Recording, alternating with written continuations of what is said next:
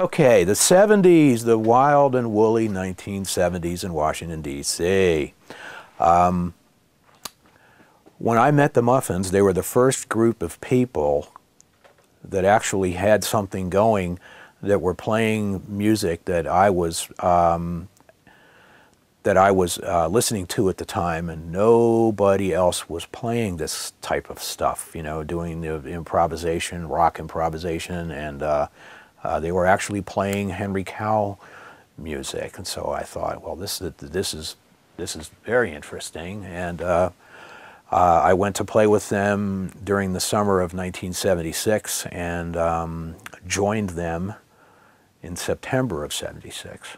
The scene back then was it was very it was, it, it, was you know kind of insular. It was very difficult to get shows you know? Uh, there was no no internet or any of that kind of thing back then. So we were very fortunate to get the occasional nightclub gig at places like the Psychedelic in uh, Baltimore. And uh, we also played at the Childe Harold down near DuPont Circle, where also Linda Ronstadt and Captain Beefheart and Roxy Music and Bruce Springsteen played there back then, but, slightly before we did. But, uh, you know, it was a, a, very small scene. One day I got a telephone call at the Muffins house uh, from a guy uh, in New York, and he told he said, uh, this guy calls up and says, I'm looking for the Muffins. And I said, well, you've got the Muffins, you know, I'm Paul Sears, how can I help you?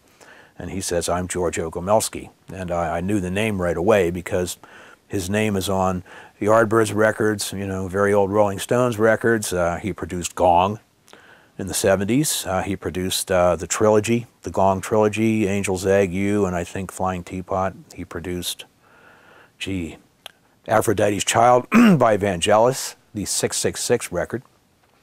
And he's putting together his festival in New York City called the Zu Festival and uh, he's got a lot going on up there, and he's bringing over um, all the all the people that we uh, you know that we've been listening to, to Daevid Allen and Fred Frith, Chris Cutler, Peter Blegvad, and and uh, we and uh, this this all came together uh, in um, October of 1978 at the Intermedia Theater in New York. I'm Paul Sears. I play the drums. I play with the Muffins and the Maximalists and lots of other people.